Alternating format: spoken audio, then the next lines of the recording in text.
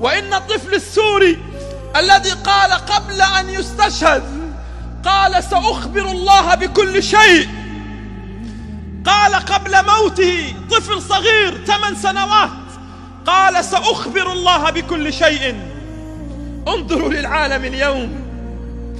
انظروا للعالم اليوم الظالم والقاتل خائف من فيروس.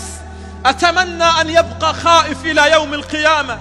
أتمنى بعد كورونا ألا تعود القنابل والبراميل المتفجرة تسقط على أهلنا في سوريا. أتمنى ألا يجوع أهل اليمن بعد كورونا. أتمنى ألا يصاب ولا يموت طفل من الجوع في اليمن كل ساعة بعد كورونا. أتمنى أن تبقى البشرية على ما هي عليه بعد كورونا. أحبتي ختاما أقول أين الفنانين الذين صدعوا رؤوسنا قبل كورونا. أين الراقصين والراقصات الذين صدعوا رؤوسنا قبل كورونا؟ أين الفنانين والمغنين الذين بلغت مشاهدات أغانيهم الهابطة ملايين ومئات ملايين المشاهدات؟ نرجو منهم الآن أن يحلوا لنا مشكلة كورونا.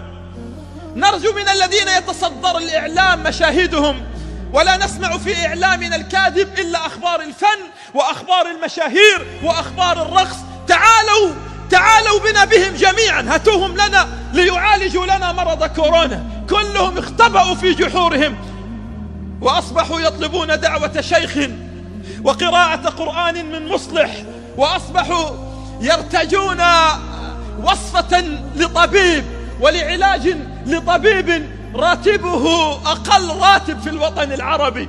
وأيضا أطباؤنا الذين نرتجي منهم اليوم أن يعالجوا لنا مرض كورونا كلهم هجرناهم إلى أوروبا كلهم هجرناهم إلى أوروبا ليشتغلوا في المستشفيات الأوروبية.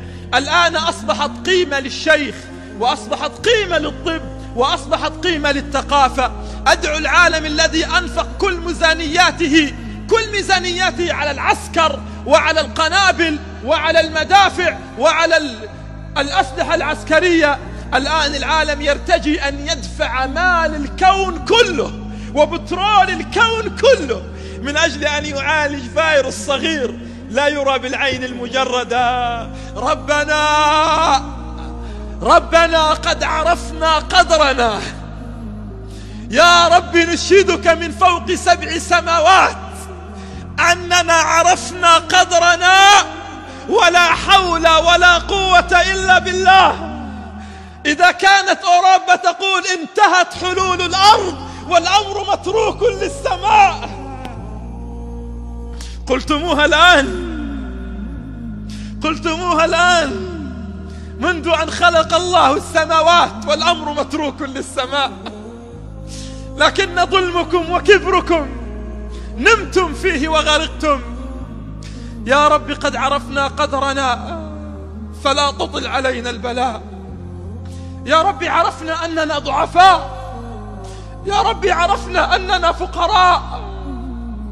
يا رب عرفنا أنك الجبار. يا رب عرفنا أنك القهار. لكننا نعلم ونعرف أنك الرحمن الرحيم. فيا ربي لا تعاقبنا بذنوبنا ولا تعاقبنا بأعمالنا. يا رب عم البلاء بيوتنا. يا رب عم البلاء بلادنا. يا رب فقدنا أهلا وأحبابا بفعل هذا الوباء. يا رب نسألك في هذا اليوم المبارك أن ترفعه عنا. يا رب لا يأتي رمضان إلا وفتحت مساجدنا. يا رب لا يأتي رمضان إلا وقد عدنا إلى بيت الله الحرام معتمرين مهللين. نعترف بين يديك أننا ضعفاء. يا رب سنعود بين يديك. ظننا بك أنك ستعيد لنا المساجد ستعيد لنا المسجد النبوي.